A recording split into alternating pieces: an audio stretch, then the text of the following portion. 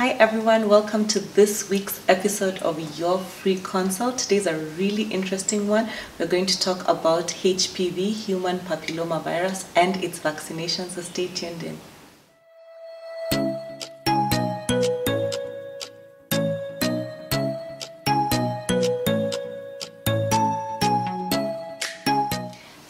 I know if you follow me on Instagram or on Facebook, I'm always telling you to come in for HPV vaccination. But then the other day I was just thinking to myself that I actually need to tell you what HPV is, what it's about, um, you know, every detail about it, why you should get the vaccine, and just all the details that you need to know about HPV so that you're coming in for the vaccine very informed. So let's quickly get into it. What exactly is HPV? HPV is human papilloma virus. It is a sexually transmitted virus that causes cervical cancer, but it can also cause other cancers like esophageal cancer, oropharyngeal cancer, anal cancer even. Um, and so it's not just cervical cancer, but yes, it mostly causes cervical cancer, especially in women. Now I need to mention that HPV has over 200 subtypes, and out of these 200 subtypes, about 14 of them are high-risk subtypes, which means that those are the subtypes that are more likely to give you cervical cancer. And I'm going to get into that a little bit later. How does one get HPV? HPV is gotten by skin to skin contact, mostly through sexual intercourse. And so, for all my patients who've been asking if they can get it from a toilet seat from any other kind of situation, it's very unlikely. It's mostly skin to skin genital contact, mostly during sexual intercourse. And remember, this is a virus. So how does one prevent getting um, HPV? Well, condom use is one really good way to prevent HPV infection. It prevents it to a large extent. But remember, you still can get HPV from skin to skin contact during sexual intercourse. And so as much as you can use condoms and they are really effective, there is still a chance that you can get HPV even despite condom use. So how does then this human papillomavirus cause cervical cancer? Once the skin-to-skin -skin contact and the HPV comes into contact with the skin and then the vagina and then the cervix, it buries itself into the different layers of the cervix and there's about five of those and then it goes to the most bottom layer of the cervix and it stays latent in the body for about five to ten years. So from the time of HPV infection to the time you actually get an abnormal pap smear can be anything between 5 and 10 years depending on how aggressive the cervical cancer is going to be. So it stays in the bottom layers of the cervix and then it starts to make its way back up to the surface of the cervix, which is where, as an OBGYN, I'm going to sample it during a pap smear and then I'll be able to tell that the cells are abnormal. So the HPV stays in the bottom makes its way back to the top and as it's making its way back to the top it makes the cervical cells abnormal. And so as it's moving upwards it starts causing what we call precancerous lesions to the point that when we do the pap smear we realize that the cells of the cervix are actually abnormal and then we quantify the extent of the abnormalities. Now, I hope you've all been watching my channel and I hope you watched my previous episodes because we do have an episode on the different types of pap smear results that you can get and these are the different abnormalities that HPV can cause on your cervix. So if you haven't watched it, please go back and watch it. And then once the cervical cells become abnormal, that is what we sample during the pap smear. And at the same time, the HPV virus starts being shed off from the cervix and that's the time when a woman can actually infect another person with HPV as well. So this is the time when we will do test either pap smear or a HPV DNA test. And I want to quickly get into that because that is the diagnosis for HPV.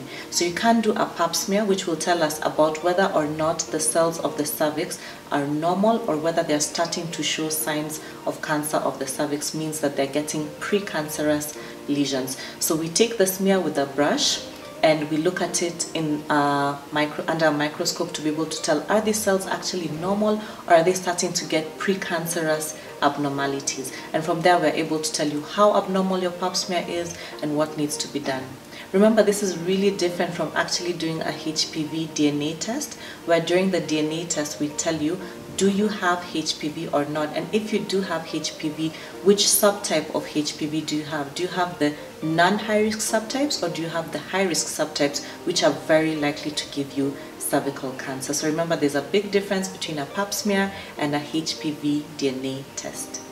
Now, other than giving you cervical cancer, one of the other things that HPV can cause is anogenital warts. So when you get a genital, a vulval, a vaginal or an anal wart, that is actually HPV virus. You can get it on your skin or you can get it on the cervix. And remember, even the skin ones are sexually transmitted. Um, they're highly infectious and you can transmit them from partner to partner during sexual intercourse.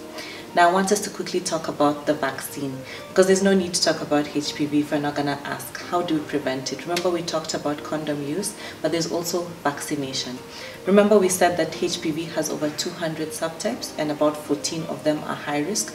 We have three kinds of vaccines that are able to prevent HPV and so the, that's the main aim of the HPV vaccine to prevent HPV.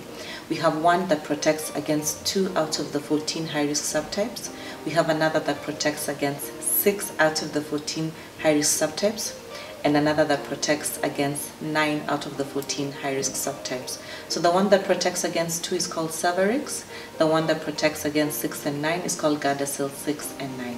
And so, of course, one gives you a little less protection and one gives you a bit more. But I do have to mention that the one that protects you against 2 out of the 14 high-risk subtypes protects you against the most notorious subtypes, the ones that are most likely to cause cervical cancer, and that's subtype 16 and 18. So it's a very efficacious vaccine, very much worth having because those are the most notorious subtypes. Of course, if you can afford it because cost is the issue, it would be better to get the one that protects you against 9 out of the 14 high-risk subtypes. It gives a better protection, but it costs a lot, a lot more. If you can access it in a country where the vaccines are free and you don't have to pay in cash for them, the better for you. You can get the ones that have the higher coverage. All right, so let's quickly talk about who gets the vaccine and who doesn't. Ideally, um, anyone between the ages of 9 and 45, any woman between the age of 9 and 45 can get the vaccine. Preteen boys can get it up to the age of 15, so between 9 and 14. And that's really helpful, and that's a lot of things that many, that's a thing that many people don't know, that boys can actually be vaccinated against HPV so that they do not become carriers and then transmit it to girls. So that's a really good step. If you have a little boy and you need um, to have him vaccinated, it would be a really good thing to do that. So I need to mention that under the age of 26, the vaccine has the highest efficacy. And then after the age of 26, the efficacy starts to drop.